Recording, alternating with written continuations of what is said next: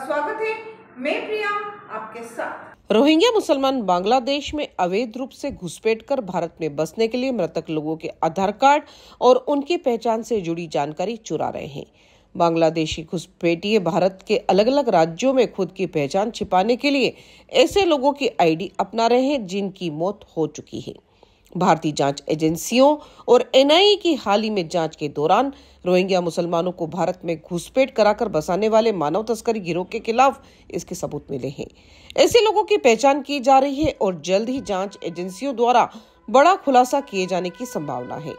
सूत्र बताते हैं कि एनआईए ने तमिलनाडु में मानव तस्करी गिरोह के खिलाफ कार्रवाई करते हुए मोहम्मद सोरीफुल बाबू मियाँ, शाहबुद्दीन हुसैन और मुन्ना उर्फ़ नूर करीम को गिरफ़्तार किया था।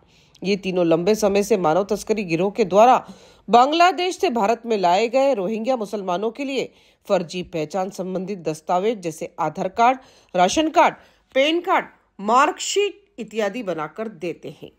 सूत्रों के मुताबिक इन तीनों ने जाँच एजेंसियों की पूछताछ में खुलासा किया कि वो रोहिंग्या मुसलमानों को भारतीय पहचान देने के लिए मृतकों के दस्तावेज़ इस्तेमाल करते हैं। एनआईए को ऐसे बहुत से लोगों का डेटा आरोपियों से मिला है। इस पूरे डेटा की पड़ताल और घुसपैठियों की पहचान की जा रही है। बाकी की तमाम खबरों के लिए बने रहिए राजनामा टीवी के साथ। धन्यवाद।